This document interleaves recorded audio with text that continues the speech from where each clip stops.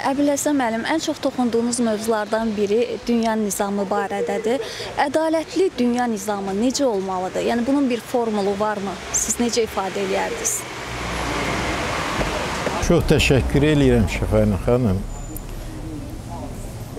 Bir Azərbaycan üçün yox, bəşəriyyət üçün olduqca aktual, mühüm, belə ən bəlkə də əhəmiyyətli bir problemdir bu verdiyi sual.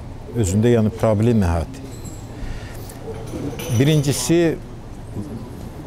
bu problemin ontoloji tərəfi bu gün, yəni varlıq tərəfi tam qabarıq özünü göstərir. Bu nədən ibarətdir? Müasir dünya biz görürük ki, müasir dünya ciddi yenidən formatlaşmağa ehtiyaclı, ehtiyaclıdır. Yəni bu bir zərurətdir. Bu mən ayrı-ayrı kitablarımda, yazılarımda bunu o zərurəti açıqlamışam, arqumentasiyasını gətirmişəm. Burada sadəcə ona vaxt sərf eləmək istəmirəm. Yəni bu dünyanın yenidən formatlaşması bir danılmaz zərurətdir. Və biz də görürük ki, həqiqətən də ilk növbədə o aparıcı dünya gücləri, təsirli dövlətlər və başqaları bu prosesdə iştirak eləyirlər. İndi burada bilavasitə ortaya bir sual çıxır. Bu dünyanın yeniləşməsi,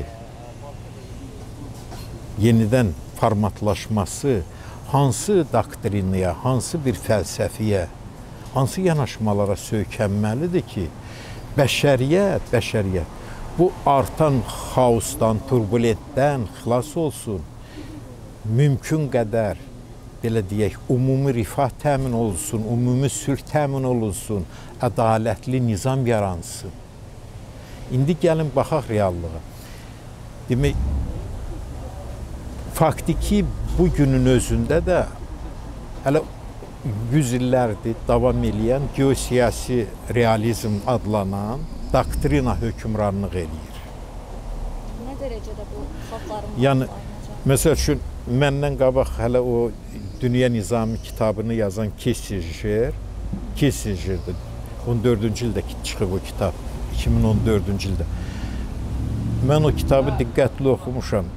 Çox maraqlı kitabdır, professional kitabdır və s. Ancaq onun fəlsəfəsi sözü də gizlətmir. Onun fəlsəfəsi də həmən o köhnə fəlsəfiyə söykənir. Yəni geosiyasi realizmə. Və o açıq-aşkar orada bu yeni formatlaşmada Amerika Birləşmiş Ştatlarının belə deyək, daha çox prioritetli ilə hökmranlığını saxlamaqdan bəhs eləyir. Eyni zamanda Zijinskini götürsək, onun da elə əsəri. Yəni əsas ki fiquratlar ki var. Məsəl üçün əsas deyirəm ona görə Kissinger indi 96 yaşını keçirdiyinin özündə də Amerika Birləşmiş Ştatlarına böyük təsiri var. Biz Brzezinski rəhmətə getdi, ancaq onun da böyük təsiri var.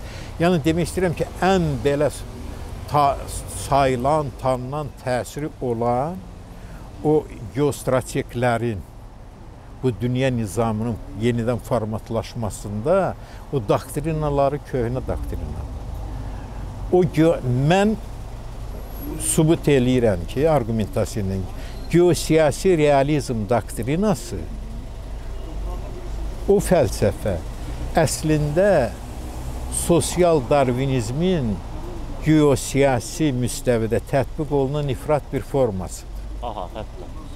Yəni sosial darvinizmin, yəni əgər artıq sənin gücün varsa, imtiyazın varsa, hərbi, siyasi, iqtisadi kifayət qədər arsenalın gen boldursa, təsirin varsa, demək sən bir növ artıq elə bil ki, özünə hüquq da qazanırsan və praktikada əsas qazanırsan ki, istədiyini həyata keçirəsən.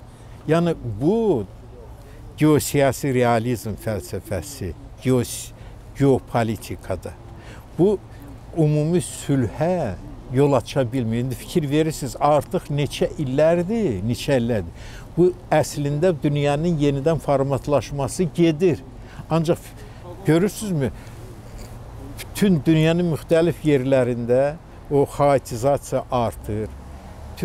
Qütbləşmə artır. Varlı dövlətlərlə kasıb dövlətlər arasında nisbətlər daha çox, fərqlər daha çox artır. Hətta ölkələr daxilində qütbləşmə artır. Yəni artıq biz görürük ki, həqiqətən də bu yeni üç, üçüncü minillik üçün bu tamamilə özünü doğrultmur. Və mən kitablarımda, əsərlərimdə yeni başqa bir fəlsəfə tə təklif eləyirəm ki, yəni o o e, geosiyasi yeniləşmə fəlsəfəsi ki, bu bütün xalqların bütün bəşəri iştirakçıların dövlət olaraq, millət olaraq, xalq olaraq iştirakına imkan verir. Ədalətli özünü artıq xalqların, dövlətlərin öz fədakarlığına, qabiliyyətinə ortaya qoydu, qoyduğu zəhmətə, zəkiyə görə qazanclarına imkan verir. Yəni ümumi rifaha, ümumi ədalətə, yeni ədalətli siyasi arxitekturanın formalaşmasına yol açır. Onun da indi belə çıxışda bu danışsam bu çox nəzəri alınar. Dinləyicilər də biraz yorlarlar. Ancaq əsərlərimdə onu incələmişəm. Bu nədən ibarətdir? Yəni bu geosiyasi fəlsəfə, bu yeniləşmə fəlsəfəsi bunun aparıcı elementləri, bunun nüvəsi, bunun strukturu, təsəvvürlər sistemi, ideya, prinsiplər sistemi, bunun dəyərlər sistemi nədən ibarətdir? Onun hamısını vermişəm, açıqlamışam.